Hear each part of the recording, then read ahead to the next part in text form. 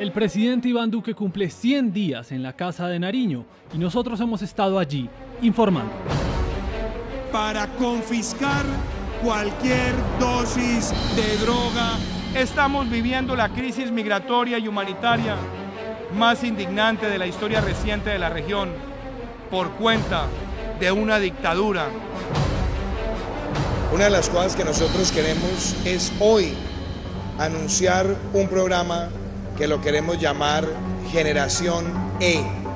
La oposición de Duque también ha estado muy presente. Duque nombra a Carrasquilla cuando ya todo esto básicamente se sabía en Colombia. El debate nos pregunta que por qué vuelve a salir, pues sale porque Duque comete el error garrafal de, nombrar a este personaje de ministro. ¿Qué querían que hiciéramos? ¿Que nos quedáramos callados? ¿Alcahuetear la desvergüenza y la vagabundería? El presidente Duque va a mentirle hoy al Papa Francisco. Por eso, Directo Bogotá, con su amplio equipo de periodistas, presenta el especial 100 días de Duque, donde la economía, la educación y la seguridad serán los temas que analizaremos. Aquí comienza los 100 días de Duque. Directo Bogotá, calidad e independencia. Bienvenidos a Directo Bogotá Televisión, el noticiero joven de la capital. Gracias a ustedes por estar con nosotros y preferir la pantalla de Directo Bogotá. Presentamos este especial llamado Los 100 días de Duque, un momento para analizar algunas propuestas polémicas del presidente en Colombia. Claro, y después de ganar con el 53,98% de los votos en una agitada polarización en las elecciones, la pregunta es, ¿qué decisiones ha tomado el presidente hasta el momento? Para analizar el contexto político de Colombia, participe con nosotros con el hashtag y el numeral 100 días Duque en nuestra cuenta de Twitter arroba directo Bogotá. Bueno, y por esta semana se ha estado hablando sobre la ley de financiamiento o reforma tributaria para el 2019, que según el gobierno busca conseguir 14 billones de pesos para gestionar programas sociales como salud, protección social, implementación de la paz, educación, entre otros. La polémica se generó después de que el Ministerio de Hacienda propuso ponerle IVA a la canasta familiar de un 18%. El presidente Duque enfrenta una compleja situación en el campo económico. La implementación del acuerdo final, reformas tributarias y presupuesto para la inversión social son los problemas que enfrenta debido a la falta de presupuesto. Hay una deuda pública de 440 billones de pesos. Ahora impulsa la impopular reforma tributaria. En este momento no se puede hablar de verdadera gobernabilidad porque todavía no se ha puesto a prueba el modelo de desarrollo que quiere implementar el presidente y se ha puesto a prueba uno de los elementos fundamentales de su política económica que es la eh, reforma tributaria.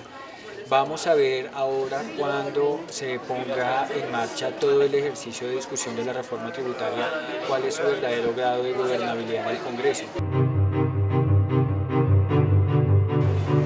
Proyecto de ley de financiamiento es otra de las estrategias del presidente para aumentar el recaudo del Estado colombiano, grabar y ampliar con el IVA del 18% productos de la canasta básica como los huevos, carne, papa y leche.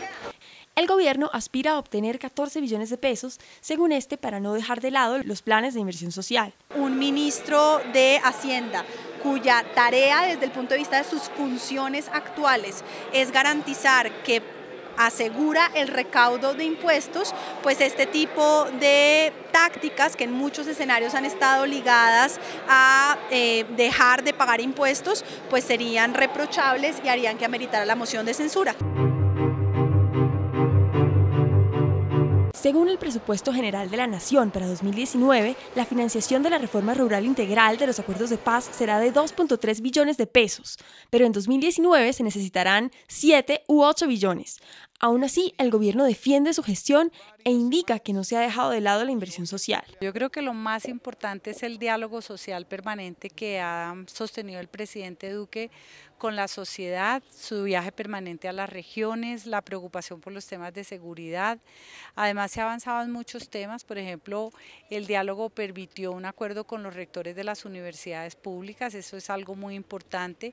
Y este nosotros, por ejemplo, desde el Ministerio del Interior también el presidente Duque sostuvo un diálogo directo con las comunidades indígenas, se acordó sacar adelante un, proyecto o un programa especial en el Plan Nacional de Desarrollo para comunidades indígenas y negras, se está trabajando en ello y se ha avanzado muchísimo. Según un estudio del Centro de Pensamiento y Diálogo Político del Ministerio de Hacienda en 2019, tendrá un recorte del 2.4%, el de Agricultura de 13.2%, el de Minas y Energía de 34.5% y el del Interior de 1.5%.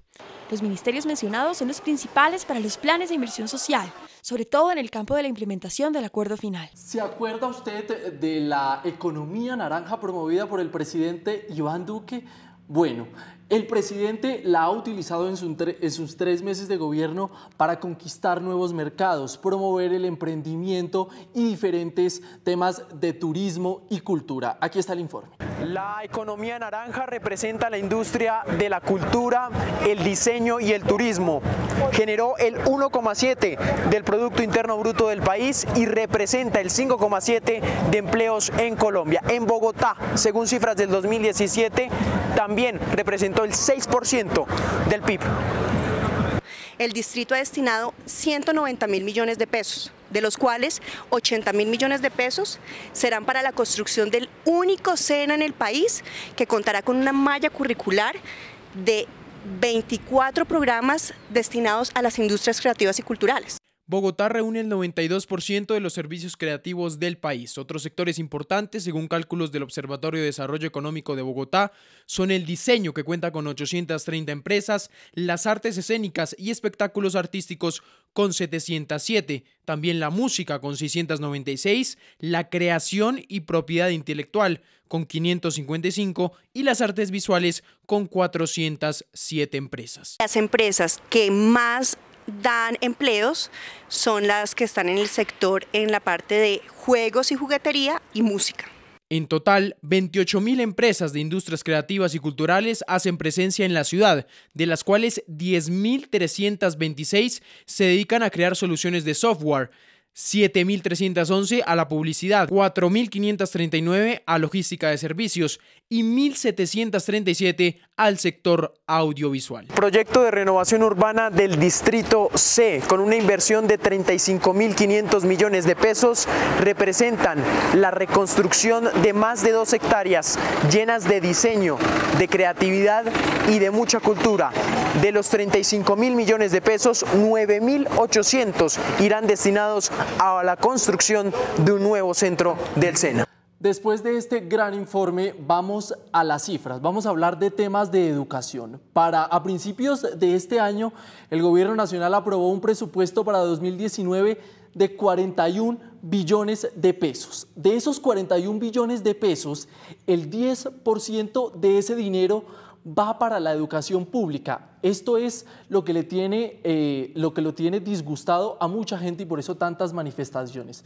Duque y la educación. Hay una fecha clave en este tema y es el 10 de octubre. ¿Por qué el 10 de octubre? Porque el 10 de octubre el presidente Iván Duque concretó un, acuerdo con varios sectores educadores eh, para aumentar el presupuesto en educación 4 billones de pesos. ¿Qué le exige? ¿Qué le exige eh, los, gremios educadores al presidente Iván Duque? Un aumento de 18.2 billones de pesos en el presupuesto público. ¿En qué irán distribuidos estos 18.2 eh, billones de pesos? 3.2 billones de pesos irían para papelería, servicios eh, generales y servicios públicos y los otros 15, 15 billones de pesos irían destinados al tema de infraestructura.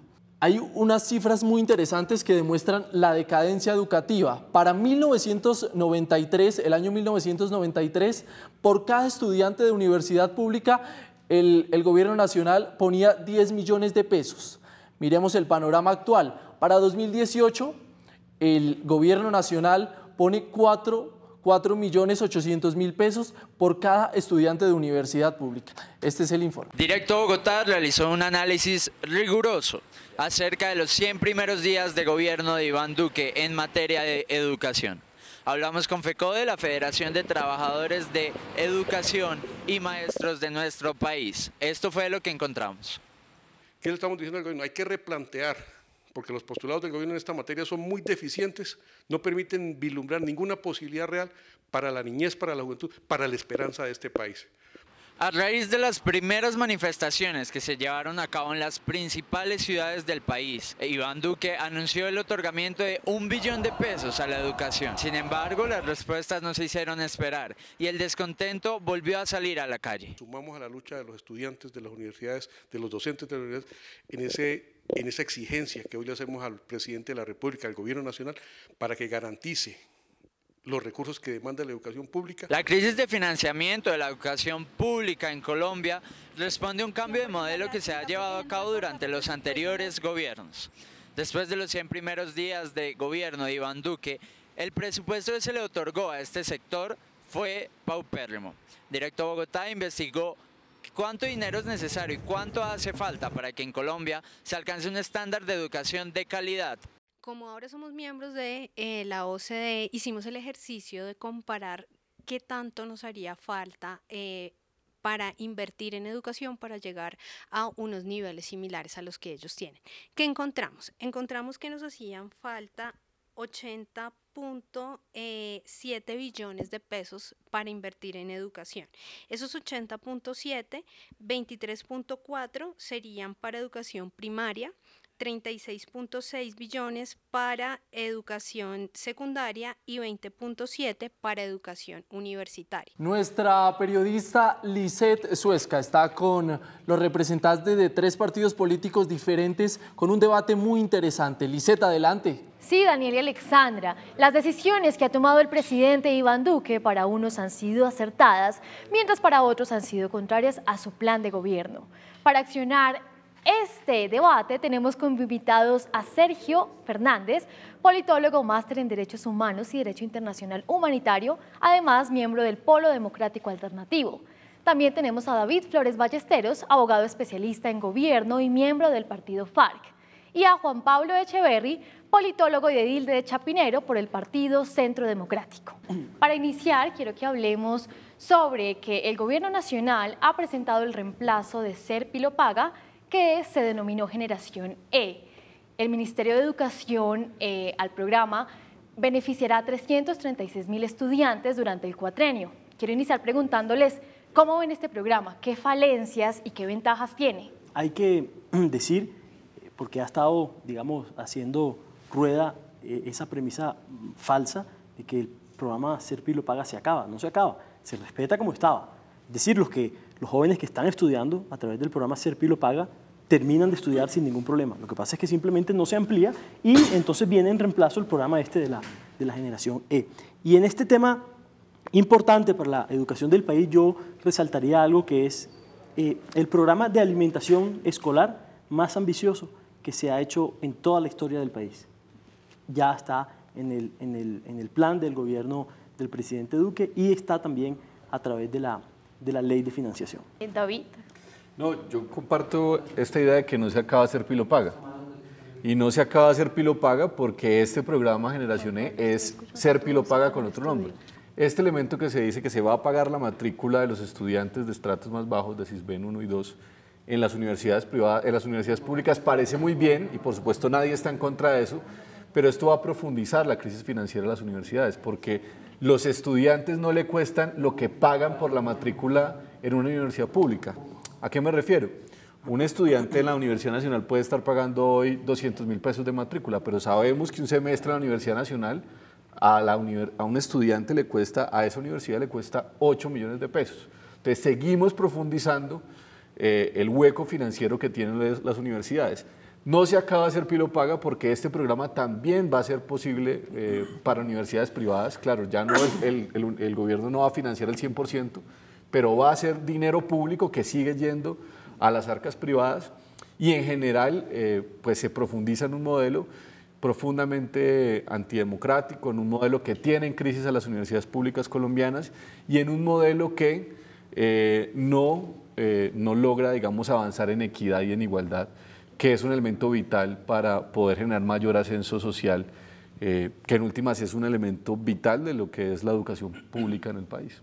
Esto es ser Pilo Paga y, y, es reencauchar un pésimo modelo, un pésimo modelo que nos pinta la educación no como un derecho de las personas por el simple hecho de ser ciudadanos, sino como un privilegio al que solamente pueden acceder, entre comillas, los pilos. Ya no serán pilos, eh, eh, eh, como se les llamará, sino los beneficiarios, entre comillas.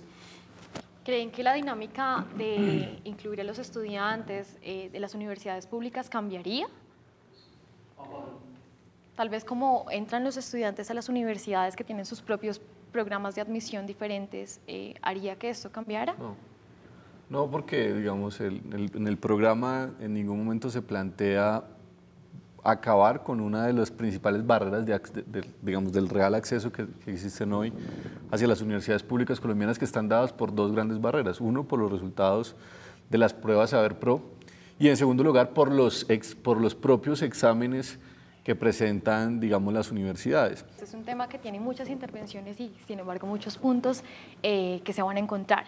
Para seguir adelante, quiero, pero quiero que hablemos sobre el pasado primero de octubre, donde el presidente Iván Duque eh, firmó el decreto contra la dosis mínima. Esto le dio la facultad a la Policía Nacional para que decomisara cualquier cantidad de sustancias psicoactivas. Hasta el momento, 48.895 eh, personas han sido sancionadas por portar drogas en espacios públicos desde que fue expedido el decreto. ¿Ustedes creen que esta prohibición es la solución de fondo al problema de las drogas, Juan Pablo? Es que en ningún momento se dijo que esa prohibición iba a ser la solución al problema de las drogas. No, un momentico, hay que saber qué era lo que se pretendía con ese decreto. Lo que se pretendía con ese decreto no era tratar el tema del consumidor, ¿no? era a través de ese decreto poder descubrir cuáles son esas redes de delincuentes que estaban vendiendo droga y llevándole droga a nuestros niños a través de los, del espacio público, en los parques, de los colegios, etcétera, etcétera. Eh, David, ¿qué puedes comentarnos? No, yo creo que es una medida totalmente equivocada. Por supuesto que nadie está de acuerdo con que le vendan droga a los niños en los colegios, en los parques, pero creo que esto hace parte de una política muy equivocada y regresiva frente al problema de las drogas en Colombia, porque sí hace parte de un conjunto de, medidas que viene tomando el presidente Duque, o en comillas el presidente Duque, porque yo parto de la idea que el verdadero, aquí se gobierna desde el Congreso y no desde el Ejecutivo, y por supuesto creo que el presidente es Uribe y la ministra del Interior es Paloma Valencia, pero más allá de eso, eh, lo que uno podría decir es lo siguiente, esta medida lo que está demostrando realmente es, uno, eleva, está elevando los niveles de costo de las drogas en las, en las ciudades colombianas. Sergio, ¿qué puede ser? El, negocio del narcotráfico es un negocio que funciona, pues, en general, como todo negocio de oferta y demanda, con una demanda que garantiza que exista esa oferta. Y esa demanda está fundamentalmente en las calles de Estados Unidos. Un kilo de coca sale, un narcotraficante colombiano recibe alrededor de 20 mil dólares por el kilo de coca. La pone en un puerto gringo y allá recibe 20 mil dólares. Y el verdadero narcotraficante, que es el narcotraficante gringo que la trafica dentro de las calles de Estados Unidos, puede recibir hasta 300 mil dólares por ese kilo de coca. O sea, el negocio ya se vuelve mucho más pulpito que acá. Y hasta que ese problema ya en Estados Unidos no se atienda, pues realmente pues, va a haber un incentivo gigantesco en Colombia y en el mundo. Y pues, desafortunadamente acá pues, son los campos de América Latina para que haya ese, ese, ese, ese negocio gigantesco. Pero yo agregaría algo. Esa medida de Iván Duque ya existió. Eso es lo que había antes de que la Corte Constitucional eh, permitiera el consumo de la dosis mínima. Y fracasó pues fracasó tanto que las cárceles en Colombia, la principal causa por la cual las personas están en la cárcel es por, entre comillas, tráfico. Y entonces tráfico de drogas es una persona como esos que están en la calle con más de el gramo, eh, con, el gramito por encima de la dosis mínima. Y eso no, no, mejora en absoluto la situación eh, de, digamos, o el problema del narcotráfico en Colombia. Bueno, así concluimos este primer debate para el especial de los primeros 100 días de Duques. Gracias a ustedes por acompañarnos y presentarnos sus diferentes puntos de vista. Hasta aquí el debate en directo Bogotá en nuestro especial 100 días de gobierno de Iván Duque. Invitamos a ver la ampliación del debate en directobogotá.com. Después de que el presidente Duque firmara el decreto de dosis mínima el 1 de octubre, la policía tiene la autoridad de decomisar, multar al portador y destruir lo incautado. Varios sectores muestran su posición ante la medida. El presidente defiende la propuesta al decir que es una manera de atacar al microtráfico octubre se firmó el decreto 1844 de 2018, que cambia la visión que se ha tenido de la dosis mínima hasta el momento. Quitar cualquier dosis que esté en las calles de Colombia para que esa tentación no esté amenazando nuestras familias. Decreto 1844 que firma Duque en pro de criminalizar a los usuarios y estigmatizarlos es un fracaso que se sigue ampliando en, en el hemisferio y en países como Colombia. Este decreto le da facultades a la policía para incautar cualquier dosis de droga que sea encontrada en las calles de la ciudad. mal, la policía, hay siete parceros detenidos y nos trataron mal, nos golpearon, nos tiraron gases, no respetaron el derecho a la protesta pacífica. Este tipo de decretos suele tener un impacto en los consumidores, que son la parte de la cadena más fácilmente reemplazable. 48.895 colombianos han sido sancionados por portar estas dosis que ahora son ilegales para la policía. Tenemos que ser firmes para que no haya jíbaros en las calles de Colombia para que no tengamos la droga medrando cerca de los colegios? Es que es un esfuerzo mayor que se le ha puesto a las policías. Hablar de recuperación de parques, nosotros les lo retamos a que cumplidos los primeros tres meses de ese decreto se haga una evaluación. Sencillamente nos estamos trabando cuando los tombos no están, cuando el tombo llega a molestar, a fastidiar, la gente se retira. Por lo tanto, tiene unos efectos sociales en la materia en que puede aumentar temas de vulneración de derechos humanos, puede llevar a temas de corrupción policial y en general pues no sabemos si puede ser efectivo o no para la reducción del consumo per se. Más allá de hablar de normalizar, de, de estigmatizar y seguir prohibiendo los consumos o más allá de legalizarlo, acá lo que queremos es una regulación clara.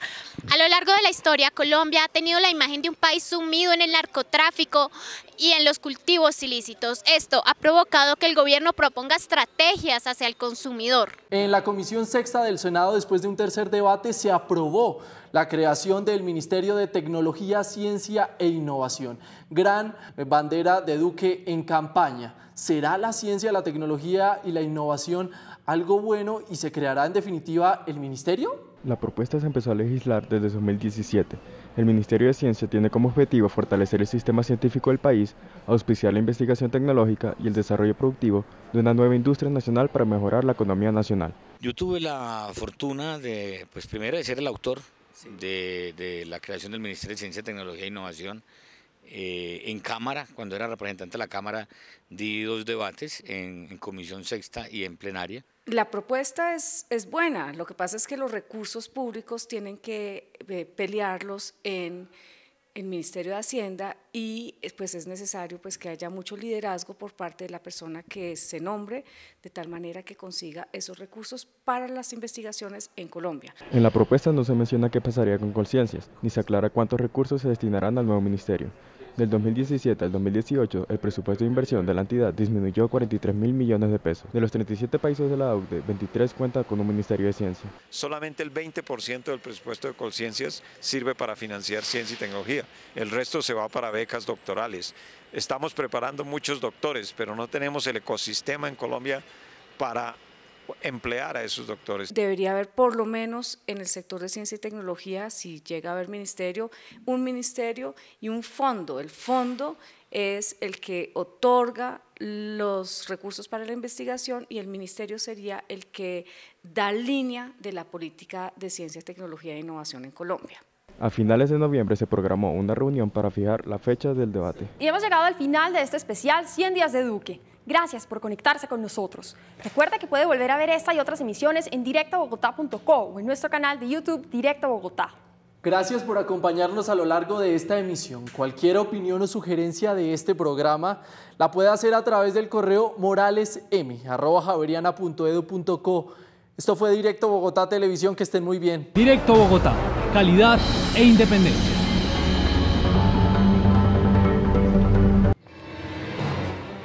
El presidente Iván Duque cumple 100 días en la Casa de Nariño y nosotros hemos estado allí informando. Para confiscar cualquier dosis de droga.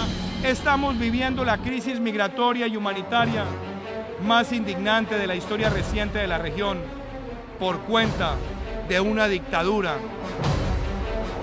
Una de las cosas que nosotros queremos es hoy anunciar un programa que lo queremos llamar Generación E. La oposición de Duque también ha estado muy presente. Duque nombra Carrasquilla cuando ya todo esto básicamente se sabía en Colombia. El debate nos pregunta que por qué vuelve a salir, pues sale porque Duque comete el error garrafal de, nombrar a este personaje de ministro. ¿Qué querían que hiciéramos? ¿Que nos quedáramos callados? ¿Alcahuetear la desvergüenza y la vagabundería? El presidente Duque va a mentirle hoy al Papa Francisco. Por eso, Directo Bogotá, con su amplio equipo de periodistas, presenta el especial 100 días de Duque, donde la economía, la educación y la seguridad serán los temas que analizaremos.